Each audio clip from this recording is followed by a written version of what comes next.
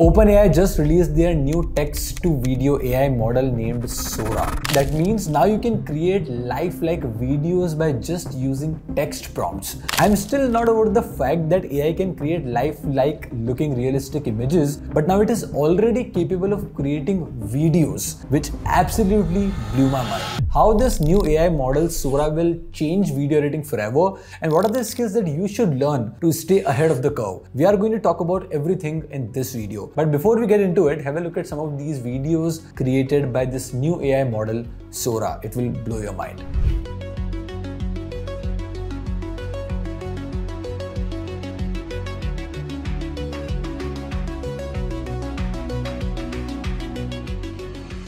Now, before we get into the nitty-gritties of it and I tell you exactly what you need to do as a video editor to stay ahead of the curve, I quickly want to take you through some of these videos and what are the prompts that were given to generate these videos. So let's go through some of the videos together. So this is OpenAI's website. You can go to it, openai.com slash Sora. That's where I am right now. And if you see this video over here where this lady is walking on the street in the night time, look at the detailing. I mean look at the lights. Look at the shimmers. Look at the reflection on the road the water the people. Uh, this is the entire i think i think a movie trailer that they created by just prompting ai this is this is insane like like if you really think about it. If you see this is an animated video right? So i think we are getting at a place where now script writers are going to be the directors, right? Because they can just write the script of an animated movie. They can feed it to these new models, which are obviously going to get better over time. And they will be able to create life-like animated movies like these. Like this is absolutely insane, right? Uh, if you just, if I just scroll down, again another animation. If you if you look at this a beautiful homemade video showing the people of lagos nigeria in the year 2056 shot with a mobile phone camera okay? Like this is so good. It looks almost realistic. This is mind blowing right? One video that i really loved was this one right? Like look at this the detailing of the forest the detailing of the truck moving in the sand coming out of the rear tires. Like it looks like somebody is shooting it from behind. Like i don't know what to say at this point. This one also blew my mind. It's the prompt is so simple. Reflection in the window of a train traveling through the Tokyo suburbs. That's all. Now you can see the suburbs, you can see the buildings, you can see the electricity poles. This is a video of art gallery that got created. This is one of probably one of my favorite ones. You know, a camera moving down on the street of uh, I don't know. This is Tokyo, Japan, Tokyo, right? So beautiful, snowy Tokyo city is bustling. The camera moves through the bustling city street, following several people enjoying the beautiful snowy weather and shopping at nearby stalls. Gorgeous sakura petals are flying through the wind along the snowflakes.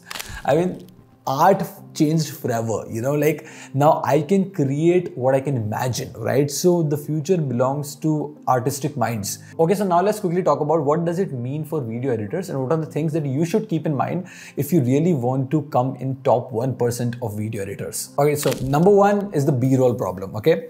See i work with a lot of video editors and i've worked with a lot of video editors in the past in my company. And one of the major problem that a lot of video editors face is actually finding the relevant b-rolls okay going to all these stock websites, it's really hard to you know put in the keywords and finding the b-rolls, the exact b-rolls that they would actually need to kind of narrate a story via their video editing. Okay, and with this new AI model, this problem basically disappears. Okay, you can create a b-roll as per your specific requirement. And another thing that I would like to point out is that now every b-roll that you create is going to be a b-roll that is unique to you. So usually a lot of people just use you know similar websites of stock footages like Storyblocks or uh, you know all the other websites that are available out there in the market. And so a lot of people have those generic type of b-rolls that they are using on their videos. But now you have the ability to generate unique b-rolls. It's mind-blowing. And if you really think about it the uniqueness of any video editor the moat of any video editor is not just the platform and tool they use. Now it is about how good they are with prompting. You know how well and how precisely they can give prompts to these ai machines and generate the videos and b-rolls that they want that they can use to narrate a specific story in the video that they are editing. So as a video editor the better you are at prompting the better b-rolls you'll be able to generate. And the better the b-rolls the better story you will be able to tell via your video editing system and the framework and the process right? Which is mind-blowing. Also there are going to be no boundaries right? There are no boundaries in terms of what b-rolls you can create what what scenarios you can display and show to the world. You can create whatever comes to your mind. It can be animated it could be real. There are no boundaries. It's limitless Number two is space and time. This is one of the major problems that I face. Let me explain, right? So, as a creator, as an educational infotainment creator, I need to often record my B rolls of me reading a book, of me traveling, of me, you know, working in front of my workstation, right? And it takes a lot of effort and it takes a lot of resistance because I'm not a cinematographer, right? I'm not a person who is interested in photography or whatsoever. And now, as these models evolve, if you have been really following AI, it's all started by generating images, okay? And images were not even good enough at the start, but then images got better over time. And after that, now we are at a place where I can just upload a reference image and AI can generate 50 different variations of that image. Okay, and eventually sooner or later, that's going to be replicated to videos as well. Right now, I can generate videos using text prompts, and after a few months, you will see that I can just upload a reference video, and AI will be changing the entire space and entire time around a particular subject from that reference video. So if I upload my video of sitting over here or maybe you know just walking around,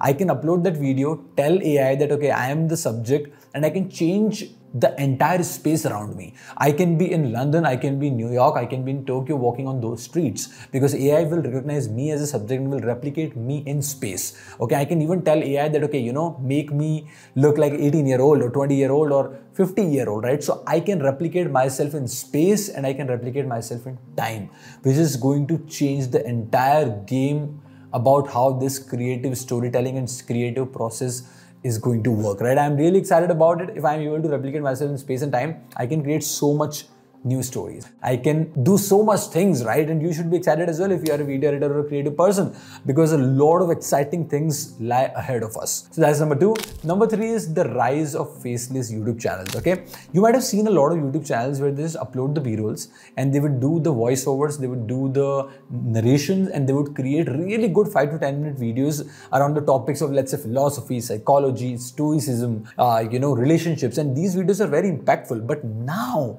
this is going to completely change the entire industry of faceless YouTube channels is going to get revolutionized because now I won't have to waste time in finding the videos on internet. I can prompt whatever come to my mind and I can generate the new b-rolls and I can create the stories. I can stitch the narrative around a particular topic that I'm trying to explain and it is going to be much more impactful and you will be seeing all these unique videos coming out on YouTube and Instagram and all the different social media platforms. And instead of actually cursing it, instead of actually getting sad about it that okay now creativity is going to go down, I can just do it in a matter of you know typing some few words to the AI machine. I'm excited about it because now there are no limits, there are no horizons. I can generate what I can imagine imagine. So I'm really excited about it. Now, if you really pay attention to it, AI is going to get evolve very fast. Okay, we have seen AI to go from creating images that look like this to creating images and videos that look like this. It's mind blowing. The shift, the difference is massive, and it has happened in a matter of months. Now it is going to happen in a matter of weeks, and eventually it is going to happen in a matter of days. Right? It's mm-hmm. the scale and the way the AI improve is going to be very fast, and it is going to be exponential. And in that scenario, the only skills that would make you unique and will make you stand out and will make you bulletproof are the soft skills. Okay, how often do you read? How well do you write? How good you are in displaying your thoughts and uh, you know kind of actually being specific about your thoughts. So I want to tell you that if you're a video editor, you need to get really good at English. Number one, because that's how you communicate with these AI models.